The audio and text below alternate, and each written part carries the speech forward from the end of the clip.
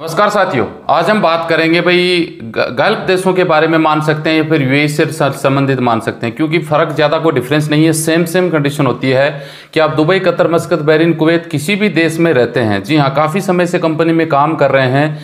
फिर आपको लगता है कि यार अभी हमें घर जाने की ज़रूरत है, अचानक से आपको घर में काम होता है, आपकी शादी या फिर आपके परिवार में कुछ भी अदरवाइज़ कोई भी रीज़न हो सकता है।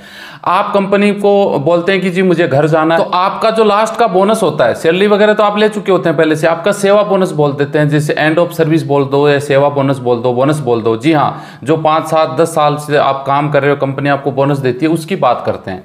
तो आप वो कंपनी से मांग करते हैं कंपनी बोलती है कि आप एक काम करिए, आप इस वीज़ा पे दस्तखत कर दीजिए वीज़ा रद्द कर देंगे आपका वीज़ा कैंसिल कर देंगे, आप घर चले जाओ, आपका पैसा आपके इंडियन अकाउंट में हम ट्रांसफ़र कर देंगे। तो ऐसी सिचुएशन होने पे आपको क्या करना चाहिए? क्या आपको कंपनी पे ट्रस्ट कर लेना चाहिए? जो आपका सर सीनियर अधिकारी या मैनेजर फॉरमैन वगैरह कोई भी वर्कर है कंपनी का मैन है, वो बोलता है आपको तो आप मान लेते हैं उनका। यानी आपके लाखों रुपए पड़े हैं, दो, चार, पाँच, दस लाख रुपए, बीस लाख कितने भी हैं, उनके कहने से आप वीज़ा कैंसिल पर साइन करके आप घर आ जाते हैं। क्या वो पीछे से पैसा भेज देगा? आपको ऐसा लगता है?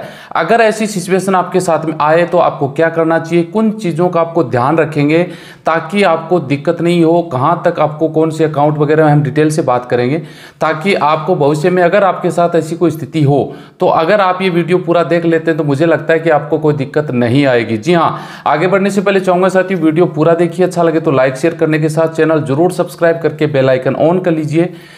फेसबुक पेज वाले पेज को फॉलो करके रख लीजिए ताकि हर रोज आपको इसी तरह के नए नए टॉपिक पे जानकारी मिलती रहे। तो चलिए शुरुआत कर ले पहली बात तो आपको क्लियर हो जानी चाहिए कि वे की बात करें या दूसरे देशों की वे की अगर बात करें तो दुबई का जो रोज़गार कानून है या सभी देशों की जो भी रोज़गार कानून है, वो साफ़ साफ़ ये बातें मैंशन की गई हैं कि भाई किसी भी वर्कर को कंपनी घर भेजती है या फिर वो घर जाता है, चाहे वो छुट्टी जाए, चाहे वो वीज़ा कैंसिल करके जाए या वो लास्ट आपको इस्तीफा दे के जाएँ।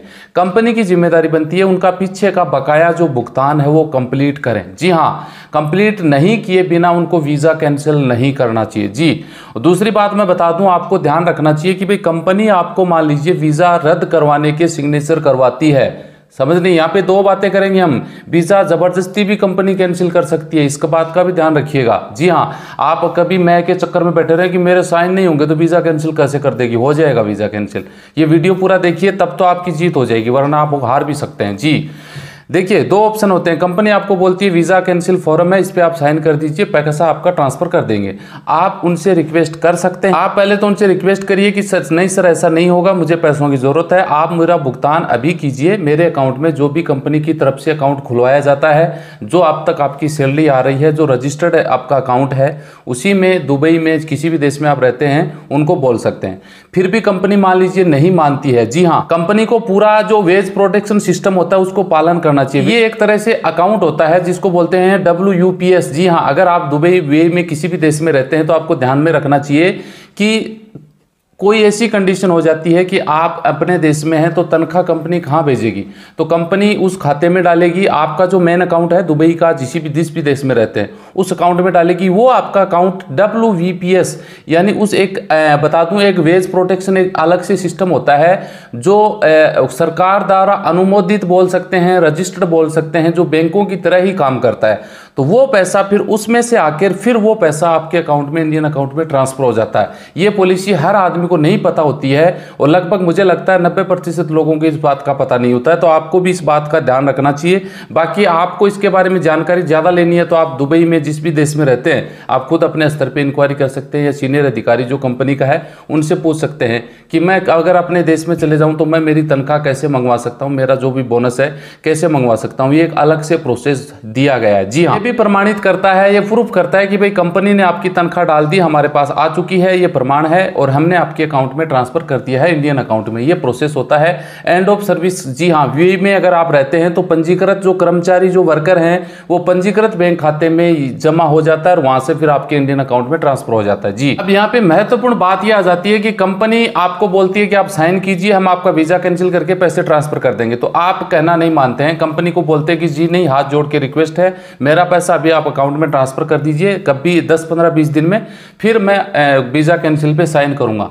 तो कंपनी क्या करती है? फिर मोरे में संपर्क करती है। जी हाँ मोरे आपको पता भाई वी की अगर बात करें तो मान, जो मानव संसाधन मंत्रालय बोल सकते हैं मोरे बोल सकते हैं, वहाँ पर वो कॉन्टेक्ट करती है आपका वीज़ा कैंसिल करने के लिए। क्यों? जी हाँ क्योंकि आपका समय तो पूरा हो रहा है। आपने इस्तीफा दे दिया। ठीक है, इस्तीफा दे दिया, लेकिन वीज़ा रद्दीकरण, वीज़ा कैंसिल पे साइन नहीं किया तो कंपनी फिर आपका, आपके खिलाफ में मोरे में जाती है कि भाई इसका वीज़ा कैंसिल करना है तो मोरे वीज़ा कैंसिल करने से पहले, पहली बात तो ये कि जब तक आपके साइन नहीं होंगे, वीज़ा कैंसिल नहीं होने वाला, इस बात को ध्यान रखिए। लेकिन मोरे आपको सात दिन के अल्टीमेटम देता है कि आप सात दिन के अंदर मोरे में पेश आपको होना है। जी हाँ अगर सात दिन में आप मोरे में पेश नहीं हुए तो आपका वीज़ा ऑटोमेटिक रद्द हो सकता है। तो आपको जैसे ही मोरे से नोटिस या ईमेल या कॉल आता है तो आपको सात दिन में मोरे में पेश होना है। वहाँ पे अपनी बात आपको रखनी होती है कि भाई मेरा ये बोनस बाकी है, कंपनी ज़बरदस्ती कर रही है वीज़ा कैंसिल करवाने के लिए लेकिन मैं जब तक मेरा अंत सेवा बोनस है वो भुगतान प्राप्त नहीं कर लेता मैं साइन कैसे कर सकता हूँ? मैं वीज़ा कैंसिल कैसे कर सकता हूँ? जी हाँ तो इस आधार पर आपके पास ये प्लस पॉइंट बच सकता है। जी। ऑप्शन तो ये हो जाता है। दूसरा ऑप्शन ये हो जाता है कि भाई चलो आपको ये लगता है कि यार चलो आप कंपनी की शर्तें हैं मान लेते हैं आपको ये लगता है कि कंपनी पीछे से आपके अकाउंट में पैसा डाल देगी। तो आपको हमेशा ध्यान रखना चाहिए कि एक लीगल अग्रीमेंट आपको करना चाहिए। जिसमें ये बातें मेंशन कंपनी की अधिकारी के द्वारा स्वीकृति और उसकी एक हाँ, हाँ में हाँ मिलाई हुई होनी चाहिए। अपनी अगर नॉर्मल लैंग्वेज से बात करें यानी वो ये बात को कबूल करते हुए उनकी सिग्नेचर होनी चाहिए कि भाई ये आदमी इतने टाइम से इतने इसका बोनस बाकी है ये वीज़ा कैंसिल करके इंडिया जा रहा है हम इनका पैसा पीछे से अकाउंट में ट्रांसफ़र कर देंगे। ये बातें ये वो लीगल अग्रीमेंट बनता है उनमें उनके साइन होते हैं और आपके साइन होते हैं वो डॉक्यूमेंट आपके पास में रखें और आप इंडिया आ सकते हैं।